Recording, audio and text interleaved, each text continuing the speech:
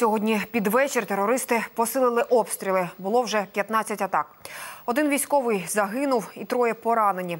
І буквально дві години тому ворог гатив по Мар'їнці з мінометів. Поранили 70-річного дідуся та 19-річну дівчинку, які йшли вулицею. Обох відправили в Курахівську лікарню. Тим часом сьогодні стало відомо, що наші армійці просунулись вперед на півтора кілометра в напрямку окупованого Слов'яно-Сербська на Луганщині. Про це написав у Фейсбуці волонтер Юрій Мусягін. Однак Міноборони прокоментували, що армійці не проводять наступальних дій та не перетинають лінії розмежування, а просто переносять опорні пункти на нові місця. Бо терористичні війська постійно накривають старі позиції артилерійським вогнем. За минулу добу ворог атакував майже три десятки разів, найбільше на Маріупольському напрямку. А про ситуацію біля Донецького литовища розкаже наш кореспондент Тарас Торні... Корніюк. Найбільш небезпечна дорога на відкритих ділянках.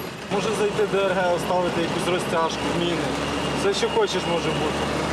Десантник Віталій витискає максимум із старого УАЗика. Додає газу, коли їдемо без прикриття так званої зеленки. Навколо жодної вцілілої хати. Так виглядає зазіхання руского міра на Донбас. За моєю спиною типовий пейзаж для району Донецького аеропорту. Цивільних тут майже не лишилося, адже як ви самі можете бачити, жити в таких руїнах просто неможливо. З десантником на псевдо Венгер йдемо дорогою, яка веде до Донецького литовища. Зруйновані термінали тут, як на долоні. Тож намагаємося не затримуватись на одному місці. Ворог може легко дістати з крупнокаліберної зброї. розвідка бою. Хаотичний якийсь обстріл і буває залітає так населений пункт, там 120-й міномет, 82-й міномет. Тобі ж ну, не може бути застрахованим. Особовий склад і також місце населення постійно вони в бункерах, в окопах сидять. Венгеру 23 роки на війні з 2014-го відразу за парти львівської сухопутки. Більшість підлеглих молодого командира старші за нього, дехто більш ніж удвічі. Однак бойового досвіду Венгеру не позичати. Власним прикладом завойовує авторитет в особового складу. Хлопець час від часу піднімається на спостережний пункт, аби пояснити специфіку роботи так званих очей. Коли всі, наприклад, ховаються, да, то спостерігач просто згідно своїх обов'язків вимушений наблюдати, коректувати вогонь наш, наприклад, уже. І він повинен засікати. Брали шахту Бутовку, Мар'янка з 3 на 8 наступ був.